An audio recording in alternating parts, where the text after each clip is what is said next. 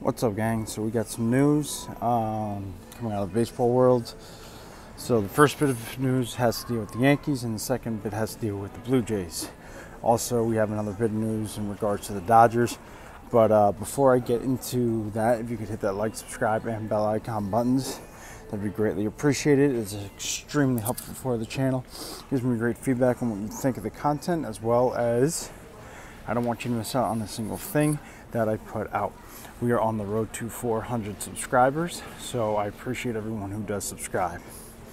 Uh, also, I don't want you guys to miss out on the this Saturday's Pinstripe Express episode. We got a real great episode coming up, so please be sure to tune in for that at uh, 10 p.m. Eastern Standard Time, 7 p.m. Pacific Standard Time. So let's get into it. So the first bit of news is the Yankees have made a trade with the Cleveland Guardians. Um, they got a uh, right-handed pitcher from Cleveland that is not a free agent until 2029. So they got a pitcher for Estevan Florial. Uh, so it's a pitcher with controllable years, which is what we want to see. We like controllable years in pitchers, so it's a nice depth piece, nice depth piece uh, for that matter. So the Yankees gets uh, another uh, pitching piece to come into the fold.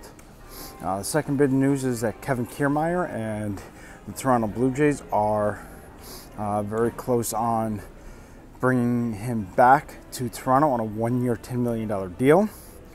And the uh, Los Angeles Dodgers are looking at Teoscar Hernandez as, uh, as a piece to bring in.